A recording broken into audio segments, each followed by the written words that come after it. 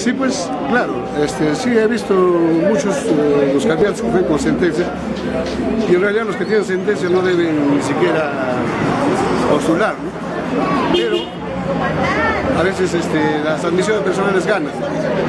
Eh, en realidad, en realidad el panorama político está un poco desteñido, eh, no hay entusiasmo ni en los candidatos ni en la población. Yo no sé cómo leer la coyuntura política, yo no sé si el Congreso que va a salir va a ser mejor o peor que el anterior. Pero eso tendríamos que decirle al presidente de la República, ¿no cree usted? Sí, sí, pero claro. Sí, pero ¿qué?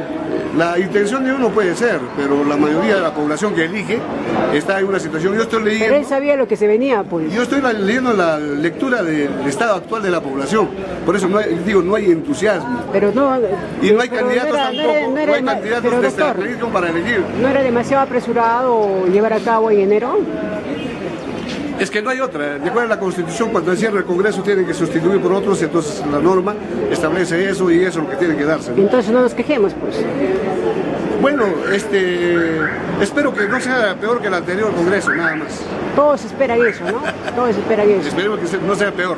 ¿Cuál es el papel que usted va, va a hacer para que eso no sea así? ¿Cuál debe ser la obligación de nosotros como sociedad que por lo menos podemos leer, ¿no? Entender un poco las cosas. Mira, yo siempre me pronuncio, eh, o sea, de repente con la declaración en las redes, eh, escribo también, pero este, lo que uno puede decir y explicar eh, muy poca significación tiene, lo que importa, lo que importa es la mayoría, ¿no?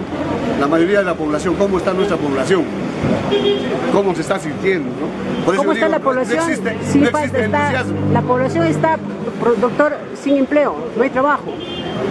¿No? Claro, claro, o sea, todas esas son problemas de carácter social y económico, pero en lo político estamos peor. Pero tiene mucha relación, pues, la necesidad. La necesidad demanda y eso que la gente se preste, ¿no? A veces la política tiene que ver con la educación, con la cultura, con la información. Desgraciadamente tampoco no podemos exhibir eso, ¿no? Desgraciadamente. Entonces, si en lo económico y social estamos mal, estamos peor en lo político. Muy bien, pero usted se me dio por otro lado. Le preguntaba, ¿qué opina usted sobre estos 18 candidatos con sentencia? ¿Qué deben hacer? Ya pues eh, hay que tacharlo, ¿no? Hay que tachar el colectivo que tache y que no pasen pues eh, ni siquiera la, la inscripción como candidatos. Hay algunos partidos nuevos, como por ejemplo el Partido Morado, el propio Acción Popular.